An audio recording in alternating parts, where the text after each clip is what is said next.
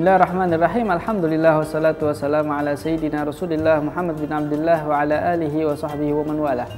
Alhamdulillah kita sebagai umat Rasulullah sallallahu alaihi wasallam yang mendapatkan banyak sekali daripada akhlak mulia dan ajaran yang diajarkan oleh Rasulullah sallallahu alaihi wasallam. Bahkan daripada hal yang sangat kecil sekalipun Nabi Shallallahu Alaihi Wasallam mengajarkan kita dan menunjukkan bagaimana betapa besarnya pahala yang diberikan oleh Allah Subhanahu Wa Taala. Seperti yang kita ketahui seperti siwak. Siwak adalah hal yang sangat uh, sangat sangat kecil dan sangat biasa. Akan tetapi Allah Subhanahu Wa Taala Nabi Shallallahu Alaihi Wasallam menunjukkan bahwa di situ ada ridho Allah Subhanahu Wa Taala.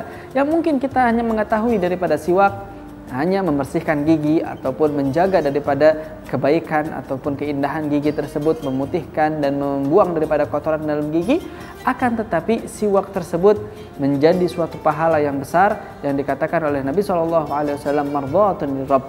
Sungguhnya di situ ada ridhonya Allah Subhanahu wa taala wa masqatatun dan juga menjadi kebencian untuk setan. Maka daripada siwak yang sangat sederhana sangat simpel yang diajarkan oleh Nabi Shallallahu Alaihi Wasallam yang mana e, mungkin daripada asal yang disunahkan Nabi SAW yaitu memakai kayu arak ataupun kayu yang dipakai seperti kita ketahui yaitu kayu siwak. Akan tetapi inti daripada pembersihan tersebut yaitu membersihkan gigi kita. E, mungkin kita bisa mendapatkan daripada hal-hal lainnya yang dapat membersihkan gigi kita dan di situ insya Allah mendapatkan daripada kesunahan yang diajarkan oleh Nabi Shallallahu Alaihi Wasallam maka intinya yaitu mengikuti ajaran Nabi Shallallahu Alaihi Wasallam. Sewaktu kita mendapatkan uh, matharatun lil fam wa mardatun lil rabb wa masqatun syaitan. Sesungguhnya siwak itu membersihkan uh, mulut ataupun gigi manusia. Yang mana faidah dalam siwak sangatlah banyak ditunjukkan oleh para dokter-dokter, para ahli-ahli bahwa bukan hanya membersihkan gigi, bahkan memutihkan gigi, menjauhkan kuman-kuman yang ada di dalam gigi, bahkan memberikan uh, suatu zat yang dapat menjadikan akal kita lebih cerdas, lebih hebat dan juga daripada uh, siwak tersebut mempunyai zat yang membuat uh, perut ataupun lambung kita menjadi lebih sehat dan banyak sekali daripada faedah-faedah yang diberikan oleh Nabi SAW hanya daripada kayu siwak.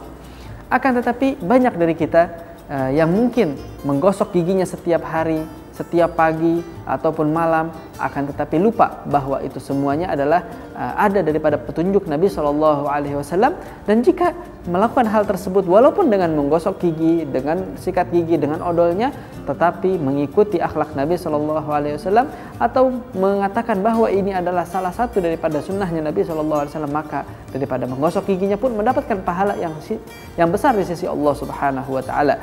Dan disunahkan memakai siwak banyak sekali disunahkan oleh Nabi Shallallahu Alaihi Wasallam khususnya sewaktu berwudu ataupun sewaktu hendak berwudu ataupun sewaktu hendak ingin sholat. Maka itu dua tempat perkara yang sangat sangat sering Nabi Shallallahu Alaihi Wasallam memakai siwak dan hampir tidak pernah meninggalkan siwak di situ. Dan juga seperti uh, ingin masuk rumah, keluar rumah, masuk ke dalam masjid, ataupun bertemu dengan keluarganya, ataupun dengan hal-hal lain-lainnya, membaca Al-Quran, sesudah makan, mau tidur, bangun dari tidur, itu semuanya diajarkan Nabi SAW untuk melakukan atau memakai siwak. Disunahkan sebelum uh, sebelum sholat, uh, sholat uh, rakaatain siwak khairu min sab'ina rakaah bi ghairi siwak kata Nabi SAW, dua rakaat dengan siwak lebih afdal daripada 70 rakaat tanpa siwak. Maka hanya dengan kayu siwak mendapatkan kefadilah yaitu lebih daripada dua rakaat menjadi 70 rakaat. Ini adalah suatu uh, fadilah ataupun suatu pahala yang sangat besar hanya karena mengikuti akhlak Nabi Wasallam dengan memakai kayu siwak dan juga dengan memakai siwak itu menjauhkan diri kita daripada setan. Sering sekali orang tergoda daripada bisikan setan setiap harinya, sewaktu berjalan, sewaktu sholat, sewaktu ingin khusyuk dalam sholatnya susah, maka karena mungkin dia lupa untuk memakai siwak, dengan memakai siwak, maka insya Allah akan dijauhi daripada setan. Dan juga ada kisah yang mana siwak ini adalah suatu benda yang dipakai oleh Nabi SAW pada terakhir daripada kehidupan Nabi Wasallam. Sewaktu Nabi dalam sakaratul mautnya dan Sayyidina Aisyah di, samping, di sampingnya di kamar Sayyidina Aisyah, Nabi Wasallam menunjuk ataupun memperhatikan ada uh, ada satu batang siwak yang uh, terletak tidak jauh dari Nabi Wasallam. Maka Sayyidina Aisyah pun mengambil daripada siwak tersebut lalu membasahi daripada siwak tersebut agar lebih lunak lalu dipakaikan kepada Nabi SAW ataupun diberikan kepada Nabi SAW sebelum wafatnya Nabi SAW. Maka benda terakhir yang dipakai oleh Nabi SAW sebelum wafatnya adalah siwak.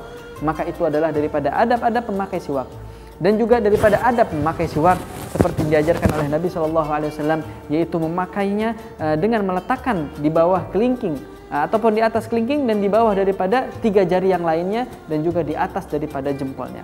Ini daripada cara bagaimana memegang siwak. Dan juga cara yang lainnya yaitu dengan menggosokkannya dari tengah gigi kita menuju ke kanan atas, lalu ke bawahnya, lalu ke kiri atas, lalu ke bawahnya, dan sebanyak tiga kali inilah yang di, salah satu cara yang dipakai oleh Nabi Shallallahu Alaihi Wasallam. Dan uh, Nabi kadang-kadang membersihkan daripada langit-langit daripada uh, mulutnya dan juga daripada lidahnya sewaktu memakai siwak dan juga Nabi SAW membersihkan siwaknya. Jangan kita telah memakai siwak lalu kita tinggal. Memakai siwak lalu kita tinggal maka akan terdapat banyak kotoran dari mulut kita yang menghindap daripada siwak kita. Akan tetapi dibersihkan dengan mencucinya dengan mengikuti daripada akhlak mulia Nabi SAW dan banyak sekali daripada kemuliaan-kemuliaan yang diberikan oleh Nabi SAW dalam memakai siwak. Semoga kita tidak meninggalkan sunnah ini dan juga kita mendapatkan daripada kebahagiaan yaitu mengikuti Nabi Shallallahu Alaihi Wasallam intisari daripada ayat suci Al-Quran. Qul in kuntum tuhibbunallaha fattabi'uni yuhibbukumullah. Wassalamualaikum warahmatullahi wabarakatuh